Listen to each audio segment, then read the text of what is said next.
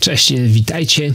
Dzisiaj omówię, przeanalizuję ten oto katalog firmy Apart, katalog e, z biżuterią, z perłami dokładnie. I ten katalog ogólnie rzecz biorąc jest wzorem, należy się wzorować, jeśli chodzi o e, wydawanie katalogów. Jest to niemalże pozycja obowiązkowa na półce każdego fotografa reklamowego, który chce fotografować kobiety, modelki, robić portrety chociażby, chce analizować światło fotografii reklamowej, ale również e, dla osób, które właśnie chcą fotografować produkty, chcą fotografować biżuterię, bo dotyczy to biżuterii. Ogólnie rzecz biorąc, jest to bardzo gruby E, katalog, bardzo przyjemny w dotyku, bardzo estetycznie wydany. No jest naprawdę, naprawdę wzorem. Zajrzyjmy do środka i zobaczmy, co tutaj jest. Katalog składa się z dwóch, można powiedzieć, e, części, czy z dwóch takich wątków. Jeden wątek to ten biżuterii, a drugi wątek to jest modelka. Także mm, mamy tutaj biżuterię i co jakiś czas, nie wszystkie tutaj zakładki porobiłem, ale co jakiś czas po prostu mamy e, piękną modelkę i taki układ i takie budowanie katalogu jest jak najbardziej w porządku. Nie mamy tutaj niestety wymienionych autorów zdjęć. Przejrzałem cały katalog i jakoś nie mogłem się tutaj dopatrzyć ani na stronie początkowej, ani gdzieś tutaj na końcu. Tego tutaj nie ma. E, autorzy są godni wymienienia, ponieważ zdjęcia są naprawdę bardzo wysokiej jakości. Mamy tutaj co najmniej dwóch fotografów. Jeden fotograf, który robi zdjęcia biżuterii, natomiast drugi, e, który robi zdjęcia e, modelce. I jeżeli chodzi o tę fotografię biżuterii, tak jak widzicie, zdjęcia są fantastyczne. Zdjęcia są e, dopracowane, opracowane również, są wykonane ze smakiem, wykwintne. Jest to po prostu najwyższa jakość. Jest to ekstra klasa, jest to, mówiąc krótko, mistrzostwo świata. Te zdjęcia naprawdę, naprawdę są rewelacyjnie zrobione i obróbka nie jest przesadzona. To wszystko wygląda realnie. Na szczególną uwagę zasługuje tutaj fakt głębi ostrości. Zwróćcie uwagę, jak głębia ostrości jest tutaj duża, jak ten produkt jest przedstawiony, także to jest e, temat na oddzielny materiał, ale e, sama technika wykonania jest tutaj e, naprawdę na wysokim poziomie. Tak więc do zdjęć biżuterii nie mam żadnych zarzutów. E, natomiast e, przejdźmy teraz do drugiej części, czyli tego drugiego wątku, a mianowicie zdjęć z modelką. Modelka jest znana, każdy na pewno wie, jest to Polka, jest to duma nasza. Jest w tej chwili na topie, można powiedzieć, i każdy w świecie mody zna tę kobietę. Jest to Ania Rubik. Tak więc co jakiś czas mamy tutaj zdjęcie z modelką. Kilka szpalt, na przykład są tutaj dwie rozkładówki e, biżuterii i mamy modelkę, która ma nałożoną e, tę biżuterię, także, także po prostu no, no oczywisty taki zabieg, kobiety się utożsamiają z modelką, prawda, z, z jej stylizacją, z tutaj z biżuterią, z miejscem, w, w którym jest. Może weźmy jakieś fajniejsze miejsce i to ma oczywisty wymiar reklamowy i to oczywiście działa. I zobaczcie, przy tej grubości katalogu, on jest naprawdę bardzo gruby, to zbudowanie zdjęć tylko i wyłącznie na, na samej biżuterii byłoby, byłoby po prostu nużące, byłoby męczące, a tak po prostu co jakiś czas mamy piękne zdjęcie, piękną modelkę i możemy zobaczyć, jak ta biżuteria wygląda po prostu na kobiecie. Wszystkie te zdjęcia, które są we wnętrzu, są naprawdę fantastyczne. Mówię tutaj o zdjęciach biżuterii i również te zdjęcia z modelką. Ja sobie to porobiłem zakładki. Nie wszystkie, ale obejrzyjmy sobie pokrótce, jak te zdjęcia wyglądają. One są dopracowane pod względem światła, pod względem kompozycji, pozy, stylizacji. Dopasowane jest to do wnętrza. Jest to naprawdę majstersztyk.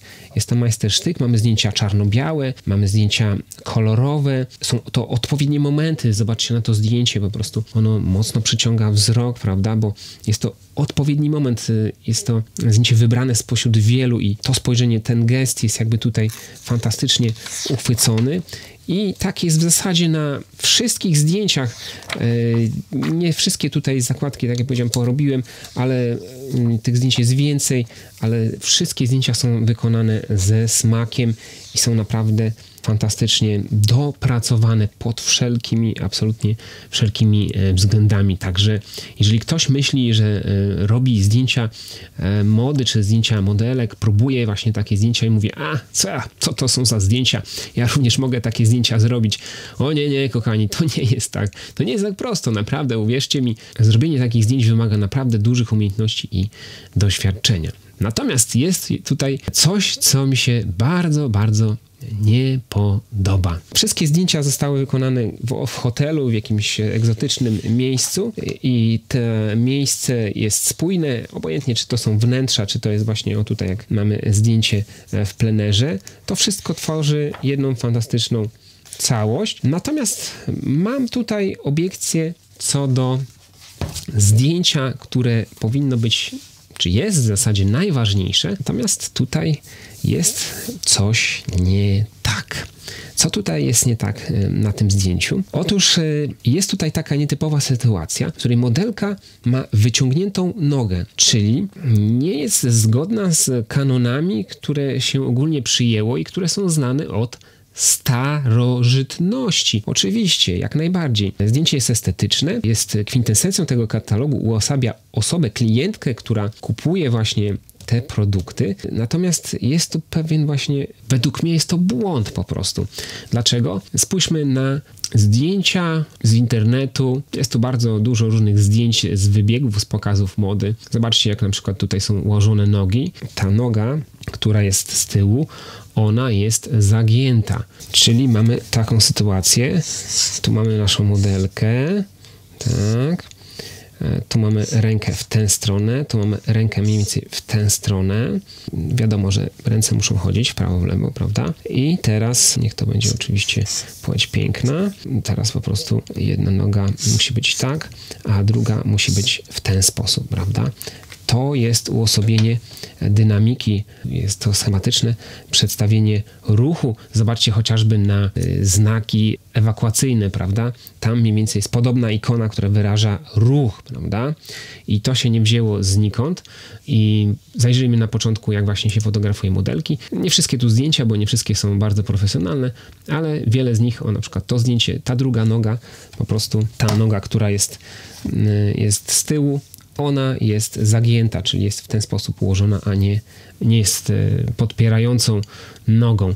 Spójrzmy na zdjęcia, które e, wykonałem osobiście, bazując właśnie na tych e, doświadczeniach i bazując na tym, co znalazłem po prostu w internecie, w czasopismach. Zanim wykonałem te zdjęcia, to po prostu się nasyciłem wiedzą. Tu mamy zdjęcia z pokazu mody w Sopocie, na Sopot Fashion Days, to było w 2010 roku. I zwróćcie uwagę, że wszystkie zdjęcia są właśnie wykonane zgodnie z tą regułą. Weźmy sobie na przykład to zdjęcie. Mamy tutaj autor y, kreacji Saviero Palatella. Tutaj w nazwach są wszystkie kreacje, więc możecie sobie tutaj zobaczyć, kto był autorem. No i zobaczcie, y, noga pierwsza, która opiera ciało, jest nogą, która jest z przodu, ta druga gdzieś tam w ten sposób ułożona, albo jest zagięta, tak jak jest to na przykład na tym zdjęciu tutaj e, Michał Starost jest autorem kreacji, o tutaj jest noga zagięta, albo tak jak na przykład tutaj jest również noga jest zagięta, tutaj autorzy Słoma Trymbulak tej kreacji. Także tak e, fotografowałem i dla mnie był to wzorzec jakiś taki kanon fotografowania. Skąd to się wzięło? Wzięło się to, e, myślę, że e, już ze starożytności. Zobaczcie, mamy tutaj tego słynnego Merkurego.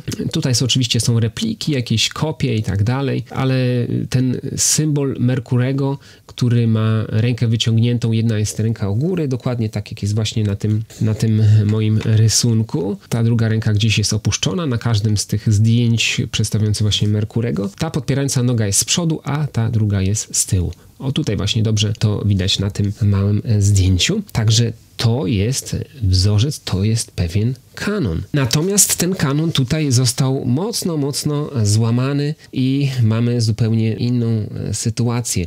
Przez co jest wrażenie, że Ania Rubik, modelka, za chwilę się po prostu przewróci. Niemalże oczywiście, bo nie jest to zupełnie takie oczywiste, ale gdy przeanalizujesz fazę ruchu, nie wiem, gdy fotografujesz ślub, gdy fotografujesz chociażby dziecko w biegu, to gdy przeanalizujesz wszystkie te fazy ruchu, to y, będzie taka faza ruchu, której ta noga podpierająca jest zupełnie niemalże na wprost i jest takie zdjęcie, na którym widać, czy jest wrażenie, że po prostu człowiek przewraca się do tyłu. Na tym zdjęciu nie jest to aż tak bardzo widoczne, ale już jest coś tutaj nie tak. Czyli układ ciała nie jest jakby idealny, nie przedstawia, nie e, pokazuje modelkę w sposób najbardziej atrakcyjny, no i jest to niezgodne po prostu z tymi kanonami, które są tutaj wypracowane. Powiesz zaraz, że trzeba łamać pewne zasady. Tak, ale złamanie tej zasady jest według mnie niewłaściwe. Jest po prostu tutaj źle zrobione, mówiąc krótko, zdjęcie. No i teraz konkluzja i podsumowanie. Dlaczego to zdjęcie znalazło się na okładce? Mamy tutaj bardzo dużo zdjęć i chociażby na tym zdjęciu, zobaczcie, mamy ten wykrok, prawda? Jest to, jest to zdjęcie zrobione według kanonu. Mamy tutaj masę różnych zdjęć w różnych sytuacjach, ale te zdjęcia nie uosobiają klientki. Jakby nie jest to taki profil stworzony przez agencję reklamową, stworzony przez e, zleceniodawcę, firmę Apart. Po prostu nie jest to taki wzór. Natomiast to zdjęcie okładkowe jest właśnie takim wzorem, jeśli chodzi o ubiór, e, jeśli chodzi o pozę, jeśli chodzi o miejsce. Wydawałoby się, że jest tym osobieniem. Oczywiście tutaj mam pewne zastrzeżenia, ponieważ wygląda to jak w Gdańsku na stogach, jakieś takie dziwne e, budowle, niezbyt e, uporządkowana ta przestrzeń jest tutaj. Niemniej na tamtych zdjęciach nie ma takich cech ekskluzywności, takiego prestiżu i tak dalej. To zdjęcie wszystkie te cechy zawiera. I mam wrażenie, że po prostu po wykonaniu tej sesji zdjęciowej okazało się, że cholera, nie zrobiliśmy po prostu zdjęcia profilowego, nie zrobiliśmy zdjęcia które y, jest uosobieniem, wcieleniem tej klientki, która kupuje te wspaniałe e, produkty, tę biżuterię, prawda? Mamy masę zdjęć różnych, e, na przykład we wnętrzu, gdzieś tam portrety, prawda? Mamy e, tutaj szeroki plan, mamy całą pokazaną, ale to sukienka, nie ma rękawiczek, prawda? Chociaż tutaj jest podobna sytuacja. Mamy zresztą na końcu też zdjęcie E, bardzo podobne. Jest to statyczne. Jest to zdjęcie, które mimo, że ubiór jest ten sam dokładnie, e, jednak nie uosabia tej e, klientki aktywnej, takiej, na którą stać zakup tych produktów. Tak więc według mnie jest to wielka wpadka. Katalog jest fantastyczny. Jest to naprawdę wzór do naśladowania, natomiast okładka jest naprawdę słaba. Naprawdę pod wieloma względami jest to E, słabe e, zdjęcie. Jest ono umieszczone tutaj na okładkę, myślę, e, tylko dlatego, jest to moja opinia, że po prostu producent sesji, czy osoba odpowiedzialna za realizację i za, za całość, zapomniała o tym, że takie zdjęcie należy wykonać i zostało ono wybrane spośród pozostałych, pozostałych zdjęć. Czyli było to na zasadzie zróbmy całą sesję zdjęciową, a zdjęcia na okładkę się wybierze. No i wybrało się właśnie takie. Ania Rubik się przewraca.